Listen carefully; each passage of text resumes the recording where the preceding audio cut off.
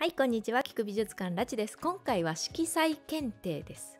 えっと普段このチャンネルはですね、え、美術の歴史美術史をちょっと取り扱ったりとかしているんですがそうやってアートとか、え、センスとかっていうことに関心がある方々がいらっしゃるかなと思ったので今回色彩検定とは何ぞやっていうことをちょっとまとめようかなと思っています。こちらが公式のウェブサイトになるんですが、え現在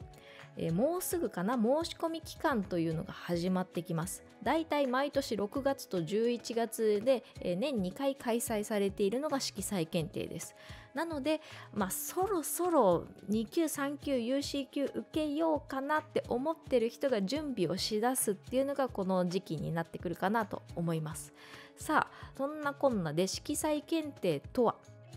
色の基礎。配色利用など幅広く学習する文部科学省講演の公的資格となっています。まあ、すごい手堅い資格試験かなと私も思っていて幅広い職業の人たちに重宝されているというのが色彩検定です。かなりね履歴書にも書きやすいんですよね。色彩検定何級っていうのがすごくねあの後押しになってくれるようなものでございます。この色彩検定がやっている目的としては色選びっていうのはセンスではないんだよっていうことを伝えているんです。で色選びってなんとなくセンスがいい人とかセンスの塊みたいな人がこうファッションのコーディネートしてかっこいいみたいなでメイクもなんかこうセンスがある人がやるみたいなイメージがあるんですが色っていうのは知識で保管するんだよっていうことをこの色彩検定では伝えているんですね。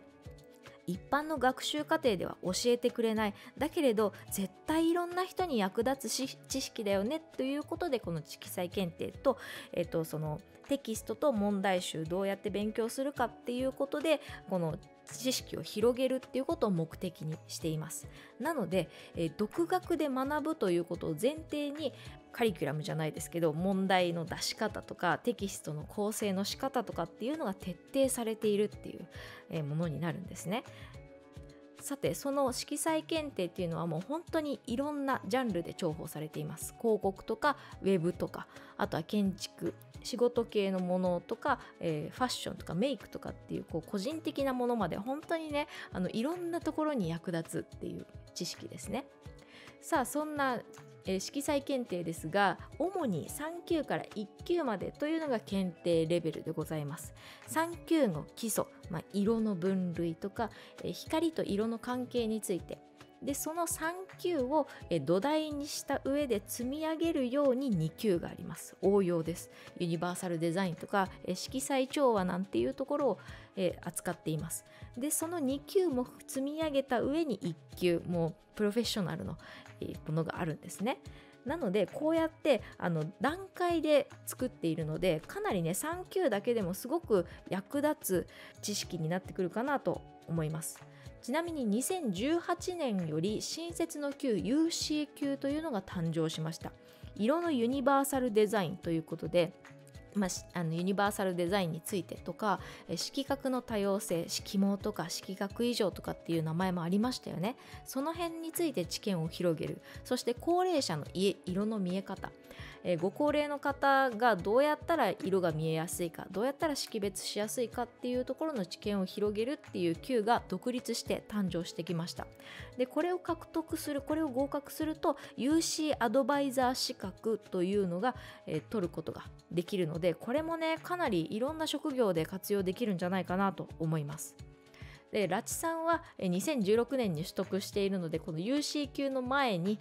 これ獲得しているっていう状態ですね。ちょっと UC 級やってみようかなと思っています。さあそんな色彩検定ですが私なりに特徴をまとめてみました。この色彩検定の特徴は Q を取得すること以上に色彩について知識にする仕組み作りというのを徹底しているというのが特徴です。まあ、あのあの検定受けてくださいあの3級取ってください2級取ってくださいっていうよりはもう色彩っていう色のことについてもいろんな人に学んでほしいよっていうことを、えずっと唱えているんですね。で例えばですよ、えー、3級の中には全9章あります。色の働きの章だったり、えー、光と色の章、えー、光、えー、色の表示とかあとはインテリアとかファッションに応用する色の話とかっていうこう全9章で、えー、構成されています。例えばこの第2章色と光については、え目の仕組みをちょっとピックアップしているんですね。目の構造です。あの角膜から入ってきて光がどうやって受光してでどうやって脳に伝達していくかっていうあの目の一連の仕組みを学ぶことになります。でその後これを積み上げて2級に行ったら光と色の章では光の性質じゃあ目のことは分かったと。目に入ってくる光どういうものがあるか。あのスペクトラムの話とか照明器具の話とかっていうことが2級で登場してきます。でそれも積み上げた上で1級っていうのは、えー、心理的、えー、色の分類ということで脳に伝達された時どういう作用があるか色についてどういう感じさせられるのかっていうことをまとめているんですねなのでこの3級2級1級っていうのは本当にピラミッドのように作られていてあの学べば学ぶほど知識が深まっているっていう構造になっているんですよ。でそれが各章でえ随所随所で出てきます。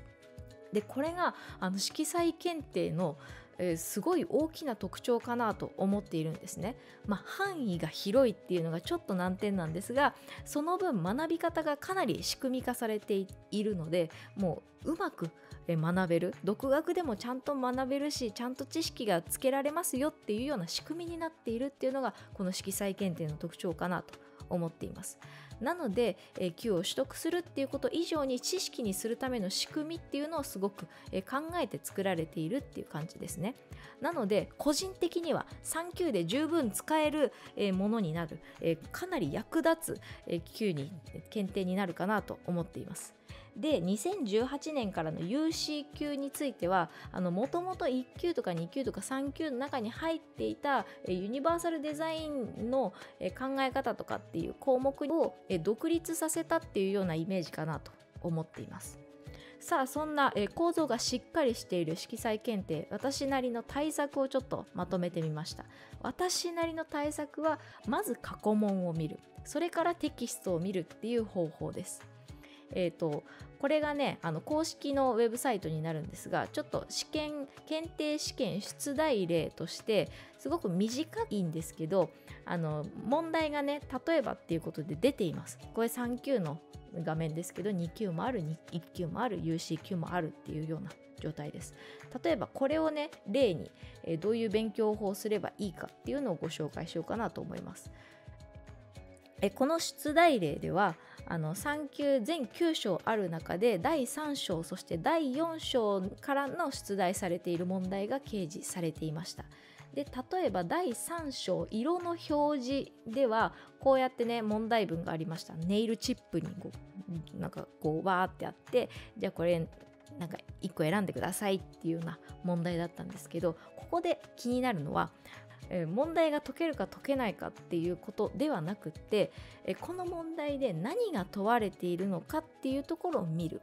ことですね。これが、え、A 同一トーン配色そして B 対象トーン配色ってこうちっちゃい文字で書いてあるんですがこれ要するにこの問題はトーン配色色の組み合わせについて問題が出されているよっていうことがわかるかなと思います。さあその後にテキストを見ます、まあ、公式のテキストでもいいですし公認のやつ何冊か出ているのでそちらをちょっと見ていただいてえこれ解くための道筋トーン配色色の組み合わせを学ぶためにはどういうステップを踏んだらえこのトーン配色っていうのが身につくんだろうっていうことを見てみると3つのステップに出ているかなと思います。で色の3属性っていうのは、え色相明度サイドっていうね3種類の見方で、え色を特定するっていう考え方そして色の数値化っていうのは、え1回アルファベットと数字だけで、え表現するっていうことをやるんですね。でこの数値化した上で配色ルールものをきれいに見せるための配色パターン鉄則のパターンっていうのがあるよっていうことを、学びます。なのでトーン配色の問題を答えるためにはまず3属性を知り数値化するっていうことを知りその後配色の鉄則ルールっていうのを学んだ後に、このトーン配色の問題が解けますよっていうような道筋がもうテキストの中に入っています。ということで対策としては私のおすすめです。その階級で求められているゴールを過去問から探す。そしてその学びの手順をテキストで確認する。でこの後は学習と練習っていうこの勉強するっていうようなフェーズですね。この流れが私は最強かなと思っています、まあ、これができるのもちゃんともともとこのテキストがかっちりしてるんですよ。テキスト見ると分かるんですけどすごいステップごとになっているんですね。でステップごとになっていって最終的にこの問題が解けるようにこの章はなっていますっていうような組をされているんですよ。だからこのゴールを見つけて手順を確認してその後に学習をするっていうことがこの色彩検定を合格するラインになってくるかなと思います。ちなみになんですけど全9章あって覚えられないっていう人もいると思うんですが、まあ、もちろんねこの9章の中にも重要度っていうものがありますので、まあ、すごいね出題されやすいとか、え重要だなって思うところからこう重点的に勉強をしていくのが私はいいかなと思っています。さあいかがだったでしょうか？色彩検定について。もしね興味あるよっていう人がいれば4月1日から申し込み開始だそうでぜひチェックしてみてください。こちらのチャンネル YouTube 聞く美術館並びにネットラジオそんな美術の時間よかったらよろしくお願いします。チャンネル登録高評価いいねボタンよろしくお願いします。それではまたお会いしましょう。